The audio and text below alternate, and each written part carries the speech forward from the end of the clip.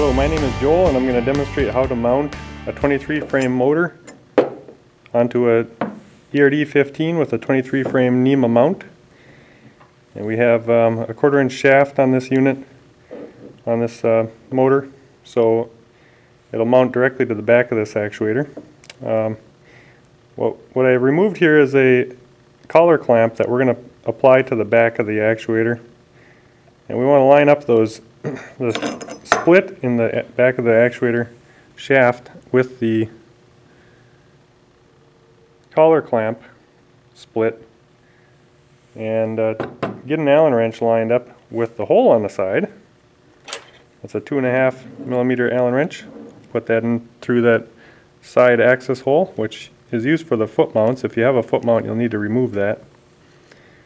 So make sure everything's lined up there. Uh, you can tighten it a, a, small amount so it's not moving around too much on you. But we'll keep that Allen wrench in there while we attach the motor.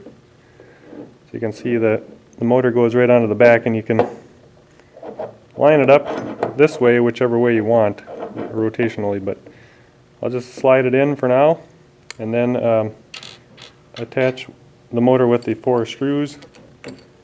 And what we're going to do now is uh, get these just snug. We don't need them tight yet until we tighten up that collar clamp. But I'll install the screws at a in a cross pattern to keep them uh, keep the motor from uh, being skewed so that it uh, goes on correctly. We get a good flat contact with the motor mount.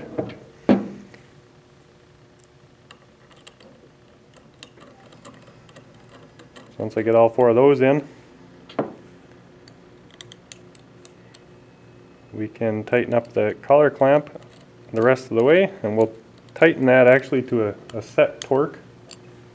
And on that collar clamp on the 15 size this will be a 19 inch pound torque I want to go to. So if you have a torque wrench you'd be torquing that to a 19 inch pound setting and then we'll want to tighten up the screws again in a cross the rest of the way. And these four screws on the motor aren't as important as the collar clamp would be for torque because that's where all the work is happening.